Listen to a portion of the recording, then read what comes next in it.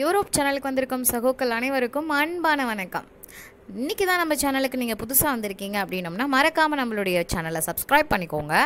இந்தியாவின் ரொம்ப முக்கியமான இயற்கை அமைப்பு பிரிவுகள் மற்றும் இமயமலைகளை பற்றின ரொம்ப முக்கியமான வினாக்களை தான் இன்றைக்கி நம்ம வீடியோவில் பார்க்க போகிறோம் கண்டிப்பாக இந்த வீடியோ உங்களுக்கு பயனுள்ளதாக இருக்கும். ஸோ வீடியோவை ஸ்கிப் பண்ணாமல் முழுமையாக பாருங்கள் இந்தியாவின் இயற்கை அமைப்பு எத்தனை பிரிவுகளாக பிரிக்கப்பட்டுள்ளது?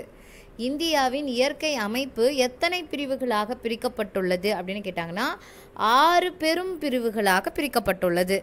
ஆறு பெரும் பிரிவுகளாக பிரிக்கப்பட்டுள்ளது. வினாவையும் விடையையும் சேர்த்து பார்த்துக்கோங்க.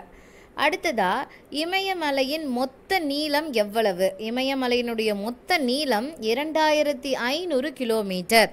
இமயமலையினுடைய மொத்த நீளம் இரண்டாயிரத்தி ஐநூறு கிலோமீட்டர். அதாவது மேற்கில் சிந்து பள்ளத்தாக்கு முதல் கிழக்கே பிரம்மபுத்திரா பள்ளத்தாக்கு வரை உள்ளது. மேற்கில் வந்து சிந்து பள்ளத்தாக்குலேருந்து கிழக்கில் இருக்கிற பிரம்மபுத்திரா பள்ளத்தாக்கு வரைக்கும். கிட்டத்தட்ட எத்தனை கிலோமீட்டர் அப்படின்னு பார்த்தீங்கன்னா இரண்டாயிரத்தி ஐநூறு கிலோமீட்டர். ஸோ இமயமலையின் மொத்த நீளம் எவ்வளவு அப்படின்னு பார்த்துட்டிங்களா? அடுத்ததான கேள்வி. உலகின் கூரை என்று அழைக்கப்படுவது எது? உலகினுடைய கூரை என்று அழைக்கப்படுவது பாமீர் முடிச்சு. உலகின் கூரை என்று அழைக்கப்படுவது பாமீர் முடிச்சு. மத்திய ஆசியாவின் உயரமான மலைத்தொடரையும் இமயமலையையும் இணைக்கும் பகுதி எது? இந்த பாமீர் முடிச்சை பற்றி நம்ம ஆல்ரெடி என்ன படிச்சிருந்தோம் அப்படின்னோம்னா இது வந்து உலகின் கூரை என்று அழைக்கப்படுவது அப்படின்னு சொல்லியிருந்தோம். அது மட்டும் கிடையாது மத்திய ஆசியாவின் உயரமான மலைத்தொடரையும் இமயமலையையும் இணைக்கும் ஒரு பகுதி. உயரமான மலைத்தொடரையும் இமயமலையையும் இணைக்கிற அந்த பகுதி பேர் தான் அந்த பாமீர் முடிச்சு. உலகின் கூரை ஆகிய பாமீர் முடிச்சு வந்து இரண்டு உயரமான மலைத்தொடரையும் இமயமலையையும் இணைக்கிறது அப்படின்ற தகவல் முக்கியமானது.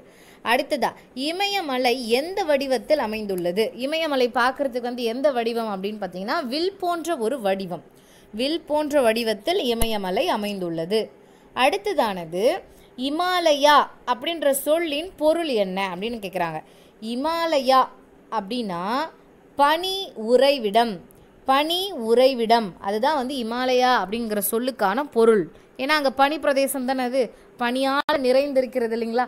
ஸோ பனி உறைவிடம் அப்படிங்கிறது தான் இமாலயா அப்படிங்கிற சொல்லுக்கான பொருள். இந்தியாவிலேயே மிக பழமையான மடிப்பு மலைத்தொடர் எது அப்படின்னு கேட்குறாங்க இந்தியாவிலேயே மிக பழமையான மடிப்பு மலைத்தொடர் மடிப்பு மலைத்தொடர் வந்து எது அப்படின்னா ஆரவல்லி மலைத்தொடர் ஸோ ஆரவல்லி மலைத்தொடர் தான் வந்து மடிப்பு மலைத்தொடர் இதுதான் ரொம்ப மிக பழமையான மடிப்பு மலைத்தொடர் அப்படின்னு தெரிஞ்சுக்கணும். இது வந்து இந்தியாவுக்கு பொறுத்த மட்டும் இல்லை. ஸோ இந்தியாவிலேயே மிக பழமையான மடிப்பு மலைத்தொடர் எது அப்படின்னு கேட்டாங்கன்னா ஆரவல்லி மலைத்தொடர். நெக்ஸ்ட் திபெத்தியன் இமயமலை என்று அழைக்கப்படுவது எது? திபெத்தியன் இமயமலை என்று அழைக்கப்படுவது டிரான்ஸ் இமயமலை. டிரான்ஸ் இமயமலையை தான் திபெத்தியன் இமயமலை அப்படின்னு சொல்கிறாங்க டிரான்ஸ் இமயமலையை வேற எப்படி சொல்லலாம் அப்படின்னா மேற்கு இமயமலைகள் அப்படின்னு சொல்கிறாங்க டிரான்ஸ் இமயமலை இல்லைன்னா மேற்கு இமயமலை. இதை தான் வந்து திபெத்தியன் இமயமலை அப்படின்னு அழைக்கப்படுறது. ஸோ திபெத்தியன் இமயமலை இதை வந்து நம்ம டிரான்ஸ் இமயமலைன்னு சொல்லலாம் மேற்கு இமயமலை அப்படின்னும் சொல்லலாம். இந்த இமயமலையில் கடலடி உயிரின படிமங்கள் கொண்ட டெர்சியரி கிரானைட் பாறைகள் இருக்கிறது அப்படின்னு சொல்லியிருக்காங்க. ஸோ எந்த கடலடி உயிரின படிமங்கள் கொண்ட இந்த டெர்சியரி கிரானைட் பாறைகள் வந்து எந்த இமயமலையில் காணப்படுது அப்படின்னா மேற்கு இமயமலைகளில் காணப்படுது. ஆல்ரெடி மேற்கு இமயமலைகளை எப்படி சொல்லலாம்னு சொல்லியிருந்தேன். திபெத்தியன் இமயமலைன்னு சொல்லலாம் டிரான்ஸ் இமயமலை சொல்லலாம்னு சொல்லியிருந்தேன் இல்லைங்களா? ஸோ இந்த இமயமலையினுடைய அடியில் தான் என்ன இருக்குது டெர்சரி கிரானைட் பாறைகள் இருக்கிறது. ஓகேவா அடுத்ததா சாஸ்கர் லடாக் கைலாஷ் காரகோரம் இது போன்ற மலைத்தொடர்கள் எந்த இமயமலையில் அமைந்துள்ளன? இந்த மலைத்தொடர்கள் எல்லாமும் மேற்கு இமயமலைகளில் தான். அதாவது டிரான்ஸ் இமயமலைகள் நம்ம சொல்கிறோம் திபெத்தியன் இமயமலைகள்னு சொல்கிறோம் பார்த்தீங்களா இந்த இமயமலைகளில் தான் இது எல்லாமே அமைஞ்சிருக்கு. என்னென்ன? சாஸ்கர் லடாக் கைலாஷ் காரகோரம். ஓகேவா சாஸ்கர் இதுவுமே நீங்கள் தெரிஞ்சு வச்சுக்கோங்க. எந்தெந்த இமயமலைகள் மலைத்தொடர்கள் அப்படின்னு கேட்டாங்கன்னா சாஸ்கர் லடாக் கைலாஷ் காரகோரம். இந்த மலைத்தொடர்கள் எல்லாம் மேற்கு இமயமலையில் அமைந்துள்ளன அப்படின்ற தகவல் ரொம்ப முக்கியம். அடுத்ததா பெரிய இமயமலைகள் எவ்வாறு அழைக்கப்படுகிறது? பெரிய இமயமலைகளை வந்து ஹிமாத்ரி அப்படின்னு சொல்றாங்க. பெரிய இமயமலைகளை வந்து ஹிமாத்ரி அப்படின்னு சொல்றாங்க. ஸோ பெரிய இமயமலைகள் ஹிமாத்ரி என்று அழைக்கப்படுகிறது. சிறிய இமயமலைகள் எவ்வாறு அழைக்கப்படுகிறது? ஹிமாச்சல் ஹிமாச்சல் அப்படின்னா அது வந்து சின்னது ஸ்மால் ஸோ சிறிய இமயமலைகள் வந்து எவ்வாறு அழைக்கப்படுகின்றன அப்படின்னா சிறிய இமயமலைகள் ஹிமாச்சல் என்று அழைக்கப்படுகிறது இதே பெரிய இமயமலைகள் ஹிமாத்ரி என்று அழைக்கப்படுகிறது ஓகேவா எவரெஸ்ட் சிகரம் எந்த நாட்டில் அமைந்துள்ளது? நேபாளத்தில் அமைந்திருக்கு. எவரெஸ்ட் சிகரம் நேபாளத்தில் அமைந்துள்ளது. அடுத்ததா எவரெஸ்ட் சிகரம் எந்த இமயமலையில் அமைந்துள்ளது? ஹிமாத்ரி அதாவது பெரிய இமயமலை அப்படின்னு சொல்றோம் இல்லைங்களா? அதுல தான் எவரெஸ்ட் சிகரம் இருக்கு. எவரெஸ்ட் சிகரம் வந்து எங்க இருக்கு? எந்த நாட்டில் இருக்கு? நான் நேபாளத்தில் இருக்கு. எவரெஸ்ட் சிகரம் எந்த இமய மலையில் அமைஞ்சிருக்கு அப்படின்னு கேட்டாங்கன்னா ஹிமாத்ரி அதாவது பெரிய இமயமலைன்னு சொன்னோம் பார்த்தீங்களா அதில் தான் எவரெஸ்ட் சிகரம் அமைந்திருக்கிறது. எவரெஸ்ட் சிகரத்தின் உயரம் எவ்வளவு? ஸோ எவரெஸ்ட் சிகரத்தின் உயரம் எட்டாயிரத்தி எட்டுநூற்றி நாற்பத்தி எட்டு மீட்டர். எட்டா எட்டாயிரத்தி எட்நூற்றி நாற்பத்தி எட்டு மீட்டர் உயரம் கூடியது தான் எவரெஸ்ட் சிகரம். இதை நம்ம தெரிஞ்சு வச்சுக்கணும். எவரெஸ்ட் சிகரத்தினுடைய உயரம் எவ்வளவு அப்படின்னு கேட்டாங்கன்னா எட்டாயிரத்தி எட்நூற்றி நாற்பத்தி எட்டு மீட்டர் அப்படிங்கிற தகவலை தெரிஞ்சு வச்சுக்கோங்க. யூனிட் அதாவது மீட்டர் அப்படின்ற யூனிட்டை நீங்கள் வந்து பார்த்துக்கோங்க. அதுவுமே முக்கியம். பெரிய இமயமலையில் காணப்படும் பனி ஆறுகள் யாவை?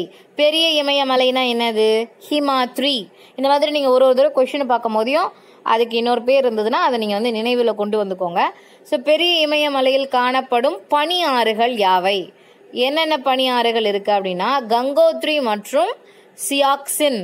ஸோ இதுதான் வந்து பெரிய இமயமலையில் காணப்படும் பனி ஆறுகள் இமாலயா அப்படின்னா என்ன சொல்லியிருந்தோம் நம்ம? இமாலயா அப்படிங்கிற வார்த்தைக்கான பொருள் சொல்லுக்கான பொருள் என்ன? பனி உறைவிடம். ஸோ பெரிய இமயமலையில் காணப்படும் பனி ஆறுகள் என்னென்ன அப்படின்னா கங்கோத்ரி மற்றும் சியாக்சின். உலகின் இரண்டாவது உயரமான சிகரம் எது? அது வந்து உலகின் இரண்டாவது உயரமான சிகரம் காட்வின் ஆஸ்டின் கே டூ என்று அழைக்கப்படுகிறது இது. இதுதான் உலகின் இரண்டாவது உயரமான சிகரம். எதுனா? காட்வின் ஹாஸ்டின் இரண்டாவது உயரமான சிகரம் காட்வின் ஆஸ்டின் இந்தியாவின் மிக உயரமான சிகரம் அப்படின்னு கேட்டாலும் காட்வின் ஹாஸ்டல் தான். இதனுடைய உயரம் வந்து எவ்வளோ அப்படின்னா? எட்டாயிரத்தி அறுநூத்தி பதினோரு மீட்டர். ஓகேங்களா? எவரெஸ்ட் சிகரத்தின் நீளம் உயரம் என்ன அப்படின்றத நீங்கள் பார்த்துக்கணும். அதே மாதிரி காட்வின் ஹாஸ்டனுடைய உயரம் என்னன்றதையும் நீங்கள் பார்த்துக்கணும். ஓகேவா எட்டாயிரத்தி எட்நூற்றி நாற்பத்தி எட்டு மீட்டர்னா அது வந்து எவரெஸ்ட் சிகரத்துக்கு. எட்டாயிரத்தி ஆறுநூற்றி பதினோரு மீட்டர். அதனால இது வந்து அதுக்கு அடுத்ததான உயரமான சிகரம் இரண்டாவது உயரமான சிகரம் என்று சொல்லப்படுகிறது. ஆனால் இந்தியாவை பொறுத்த மட்டும் மிக உயரமான சிகரம்னா அது வந்து காட்வின் ஹாஸ்டின் தான். இதனுடைய உயரம் என்ன அப்படின்னு பார்த்தீங்கன்னா எட்டாயிரத்தி ஆறுநூற்றி பதினோரு மீட்டர். உலகிலேயே அதிக சிகரங்களை கொண்ட மலைத்தொடர் நம்ம இமயமலை தொடர் தான். உலகிலேயே அதிக சிகரங்களை கொண்ட மலைத்தொடர் வந்து எது? இமயமலை தொடர். சிம்லா முசௌரி நைனிடால் அல்மோரா ராணிகட் மற்றும் டார்ஜிலிங் போன்ற கோடை வாழிடங்கள் எந்த மலைத்தொடரில் அமைந்துள்ளன? என்னென்னலாம் படிச்சிருக்கோம் அப்படின்னு திருப்பி நான் சொல்கிறேன் அதாவது சிம்லா முசோரி நைனிடால் அல்மோரா ராணிகட் மற்றும் டார்ஜிலிங். இந்த இடங்களையும் நீங்கள் தெரிஞ்சு வச்சுக்கணும். சிம்லா முசௌரி நைனிடால் அல்மோரா ராணிகட் மற்றும் டார்ஜிலிங். இந்த ஆறு கோடை வாழிடங்கள் எந்த மலைத்தொடரில் அமைஞ்சிருக்குன்னா ஹிமாச்சல் இமாச்சல்னா ஸ்மால்னு சொன்னேன். அதாவது சிறிய இமயமலைகள் அப்படின்னு சொன்னோம் இல்லைங்களா? இதில் தான் இதெல்லாமே இந்த வாழிடங்கள் அனைத்தும் அமைந்திருக்கிறது. அடுத்ததா காஷ்மீரில் இருந்து அசாம் வரை நீண்டு உள்ள ஆறுகளால் உருவாக்கப்பட்ட வடிவிலான இமயமலை எவ்வாறு அழைக்கப்படுகிறது இதை வந்து எப்படி சொல்றாங்க அப்படின்னோம்னா அதாவது காஷ்மீர்ல இருந்து அசாம் வரைக்கும். ஆறுகளால் உருவாக்கப்பட்ட இந்த வடிவிலான இமயமலையை வந்து சிவாலிக் குன்றுகள் அப்படின்னு சொல்றாங்க. எப்படி சொல்றாங்கன்னா சிவாலிக் குன்றுகள் அப்படின்னு சொல்றாங்க. காஷ்மீர்ல இருந்து அசாம் வரைக்கும் இருக்கு இது. சரிங்களா? இது வந்து சிவாலிக் குன்றுகள். அடுத்ததா சிவாலிக் குன்றுகளின் கிழக்கு பகுதி. கிழக்கு பகுதி எவ்வாறு அழைக்கப்படுகிறது அப்படின்னா டூயர்ஸ் அப்படின்னு என்று அழைக்கப்படுகிறது. டூயர்ஸ் சிவாலிக் குன்றுகளின் கிழக்கு பகுதி வந்து டூயர்ஸ் என்று அழைக்கப்படுகிறது. இதே சிவாலிக் குன்றுகளின் மேற்கு பகுதி வந்து டூன்கள் என்று அழைக்கப்படுகிறது. ஸோ டூ இயர்ஸ் அப்படின்றது வந்து நீங்கள் டயர்னு கூட ஞாபகம் வச்சுக்கோங்க. டயர் வந்து கிழக்கு கீழ்ப்பகுதியில் தான் இருக்கும். ஓகேங்களா? ஸோ சிவாலிக் குன்றுகளின் கிழக்கு பகுதி அப்படின்னா அது வந்து நீங்கள் டயர் எப்படி ஞாபகம் வச்சுங்களோ அந்த மாதிரி டூ இயர்ஸ்னு ஞாபகம் வச்சுக்கோங்க. ஸோ கிழக்கு பகுதியை வந்து நம்ம டூ இயர்ஸ் அப்படின்னு அழைக்கிறோம். இதே சிவாலிக் குன்றுகளின் மேற்கு பகுதி மேலே இருக்கிற பகுதியை வந்து தூண்கள் அப்படின்னு அழைக்கிறாங்க. ஓகேங்களா? ஸோ டூ இயர்ஸை ஞாபகம் வச்சிட்டிங்கன்னா நீங்கள் வந்து டூன்களை ஞாபகம் வச்சுக்கலாம். ஸோ கண்டிப்பாக இது தெரியும். நெக்ஸ்ட்டு டாப்லா அபோர் மிஸ்மி பட்காய்பம் நாகா மானிப்பூர் மிக்கிரா காரோ காசி மற்றும் ஜெயநதியா இந்த பத்து குன்றுகள். என்னென்ன பத்து குன்றுகள்? இதை தெரிஞ்சுக்கணும். டாப்லா அபோர் மிஸ்மி பட்காய்பம் நாகா மானிப்பூர் மிக்கிரா காரோ காசி மற்றும் ஜெயநதியா. இந்த பத்து குன்றுகள் அனைத்தும் ஒன்றிணைந்து இது எல்லாத்தையும் ஒன்னா சேர்த்து ஒரே பேரா சொல்லணும்னா என்ன சொல்லுவாங்க? பூர்வாஞ்சல் மலைகள். பூர்வாஞ்சல் மலைகள் அப்படின்னு சொல்லுவாங்க. சரிங்களா? பூர்வாஞ்சல் மலைகள் அப்படின்னா அந்த பத்து குன்றுகளை ஒன்றிணைத்து சொல்லக்கூடிய ஒரு சொல். அதுதான் வந்து பூர்வாஞ்சல் மலைகள் அப்படின்னு சொல்லப்படுகிறது. காராகோரம் கணவாய் எங்கு அமைந்துள்ளது. காராகோரம் கணவாய் வந்து ஜம்மு காஷ்மீரில் அமைந்துள்ளது. ஜம்மு காஷ்மீரில் அமைந்துள்ள அந்த கணவாய் பேர் எனது காராகோரம். காஷ்மீரில் அமைந்துள்ள அந்த கணவாய் பேர் காராகோரம். ஓகேவா? ஜம்மு காஷ்மீரில் காராகோரம் கணவாய் அமைந்திருக்கிறது. இதே ஜொஷிலா கணவாய் எங்கு அமைந்துள்ளது? ஜொஷிலா கணவாய் இமாச்சல பிரதேசத்தில் அமைந்துள்ளது. இமாச்சல பிரதேசத்தில் அமைந்துள்ள கணவாய் பேர் என்ன அப்படின்னா ஜொஷிலா. பொமிடிலா கணவாய் எங்கு அமைந்துள்ளது? பொமிடிலா கணவாய் அருணாச்சல பிரதேசத்தில் அமைந்துள்ளது. பொமிடிலா கணவாய் அருணாச்சல பிரதேசத்தில் அமைந்துள்ளது. அடுத்ததா ஷிப்கிலா கணவாய் எங்கு அமைந்துள்ளது? ஷிப்கிலா கணவாயும் வந்து இமாச்சல பிரதேசம். இமாச்சல பிரதேசத்தில் நம்ம ஆல்ரெடி ஒரு கணவாய் சொன்னோம். அது என்னது? ஜோஷிலா. ஜோஷிலாவும் ஷிப்கிலாவும் இமாச்சல பிரதேசத்தில் அமைந்துள்ளது. நல்லா ஞாபகம் வச்சுக்கோங்க. ஜோஷிலாவும் ஷிப்கிலாவும் ஹிமாச்சல பிரதேசத்தில் அமைந்துள்ளது. இதே வந்து பொமிடிலா வந்து அருணாச்சல பிரதேசத்தில் அமைந்துள்ளது. காராகோரம் வந்து காஷ்மீர் ஜம்மு காஷ்மீரில் அமைந்துள்ளது. ஓகேவா? நெக்ஸ்ட் ஜெலிப்லா கணவாய் இது வந்து சிக்கிமில் அமைந்துள்ளது. ஜெலிப்லா. ஜெலிப்லா கணவாய் வந்து சிக்கிமில் அமைந்துள்ளது.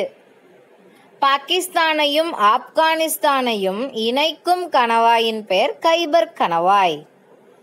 ஸோ ஆப்கானிஸ்தானையும் பாகிஸ்தானையும் இணைக்கக்கூடிய அந்த கணவாய் பேர் வந்து கைபர். கை கொடுத்து ரெண்டு பேரையும் இணைக்குது. அதனால் இது வந்து கைபர் கணவாய் அப்படின்ற மாதிரி ஞாபகம் வச்சுக்கோங்க. ஸோ இரண்டையும் இணைக்கும் அந்த கணவாயின் பெயர் கைபர். போலன் கணவாய் எங்கு அமைந்துள்ளது? போலன் அதாவது நம்மளை விட்டு போயிட்ட பாகிஸ்தானில் தான் இது அமைந்திருக்கு அப்படின்ற மாதிரி ஞாபகம் வச்சுக்கோங்க. பாகிஸ்தான் நம்மளிருந்து பிரிஞ்சு தானே போச்சு. ஸோ போலன் கணவாய் வந்து பாகிஸ்தானில் அமைந்துள்ளது. அங்கே போயிடுச்சு அப்படின்ற மாதிரி ஞாபகம் வச்சுக்கோங்க. இன்றைக்கி பார்த்த தகவல் எல்லாமே உங்களுக்கு ரொம்ப பயனுள்ளதாகவும் ரொம்ப பிடிச்சதாகவும் இருந்தது அப்படி நீங்கள் நினச்சிங்க அப்படின்னோம்னா மறக்காமல் இந்த வீடியோவை லைக் பண்ணுங்கள் இது போல் உங்களுக்கு இன்னும் வீடியோஸ் வரணும் அந்த வீடியோஸ்லாம் உங்களுக்கு ரீச் ஆகணும்னு நினச்சிங்கன்னா நம்மளுடைய சேனலை மறக்காமல் சப்ஸ்கிரைப் பண்ணிக்கோங்க. எக்ஸாமுக்கு ப்ரிப்பேர் பண்ணுற உங்களுடைய ஒவ்வொரு ஃப்ரெண்ட்ஸ்க்குமே ஷேர் பண்ணுங்கள் இது அவங்களுக்கு ரொம்பவே பயனுள்ளதாகவும் இருக்கும். அடுத்த ஒரு முக்கியமான வீடியோவோட உங்களை எவ்வளோ சீக்கிரமாக சந்திக்க முடியுமோ அவ்வளோ சீக்கிரமாக சந்திக்கிறோம். அதுவரை உங்களிடமிருந்து விடைபெறுவது உங்கள் யுவரோப் சேனல் நன்றி வணக்கம்.